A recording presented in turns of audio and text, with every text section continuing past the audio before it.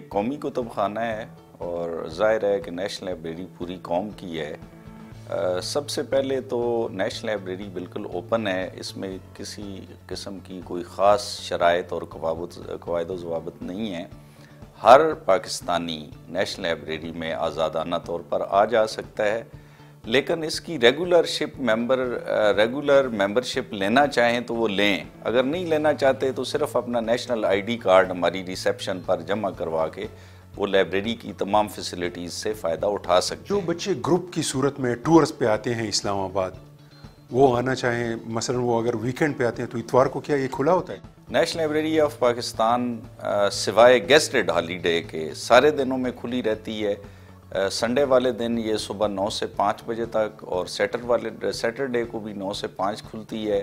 Friday کو یہ نو سے آٹھ سے چھ بجے تک کھلی رہتی ہے اور باقی دنوں میں صبح آٹھ بجے سے رات آٹھ بجے تک کھلی رہتی ہے۔ تو ہم تمام طلباء کو، اساتذہ کو اور خاص طور پر تعلیمی اداروں سے جو لوگ پورے پاکستان سے تشریف لاتے ہیں اسلام آباد کی سیر کے لیے تو اگر وہ نیشنل لائبریری کو نہیں دیکھیں گے تو ان کی یہ سیر نامکمل رہے گی۔ وہ شکر پڑیاں بھی دیکھیں، پارکس بھی دیکھیں، فطرت کا مطالعہ بھی دیکھیں، حسین نظارے بھی دیکھیں۔ لیکن ایک طالب علم اور ایک استاد اور تعلیمی ادارے کے لیے کتاب اور لائبریری سے زیادہ بڑی کوئی اٹریکشن نہیں ہوتی۔ یہ پاکستان کی ایک ماڈل لائبریری ہے۔ اس کا مطلب یہ کہ اگر کوئی اسکول اپنے بچوں کو لے کے آنا چاہتے ہیں تو ان کو کوئی ایڈوانس خط و کتابت کی اجازت نامی کی ضرورت نہیں ہے۔ وہ بس آ جائیں۔ ہماری طرف سے تو وہ بالکل اوپن ہے لیکن اس میں اگر وہ بس لے کر آتے ہیں تو اس کا ہمیں انہیں بتانا پڑتا ہے کیونکہ یہ سیکورٹی زون میں ہے۔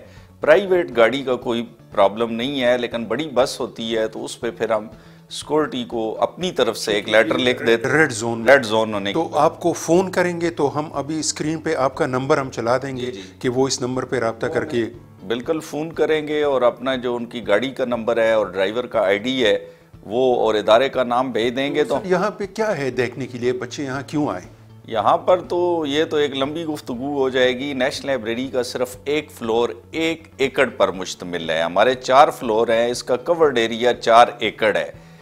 اگر میں یہ بتاؤں کہ یہاں پر بچوں کا بھی ایک بڑا ماڈل سیکشن جو ہے وہ موجود ہے جو پرسنز ود ڈسیبلٹیز ہیں یا مختلف اللہ تعالیٰ نے ان میں کچھ چیزیں کم رکھی ہیں، جیسے بصارت سے محروم لوگ ہیں یا چل پھر نہیں سکتے، تو ان کا الگ سیکشن ہے۔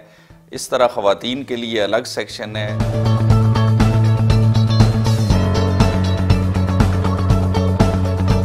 تو ہمارے پاس اس وقت پچاس سال کے اخبارات اور رسائل و جرائد موجود ہیں اور ان کو ہم نے ڈیجیٹلائز بھی کر لی ہے۔ اور اس کے علاوہ ہمارے پاس کوئی پندرہ ہزار کے قریب ریئر بکس ہیں۔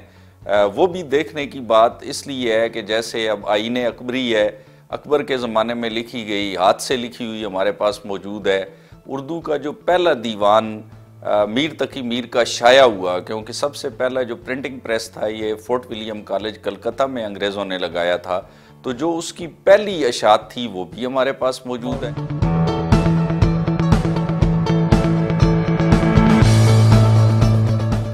پانی کا بھی انتظام ہے، یہاں کنٹین بھی موجود ہے اور ادروائز ہمارے دور دراز سے جو طلباء اور اساتذہ یا تعلیمی ٹورز آتے ہیں یا یہ اس علم کا تعلق صرف تعلیمی اداروں سے بھی نہیں ہے، یہ تو ایک لائف لرننگ پروسیس ہے۔ جو بھی لوگ اسلام آباد میں آئیں، وہ نیشنل لائبریری کو وزٹ کریں اور نیشنل لائبریری کی سہولیات کو دیکھیں اور اس کی جو سہولیات ہیں، ان سے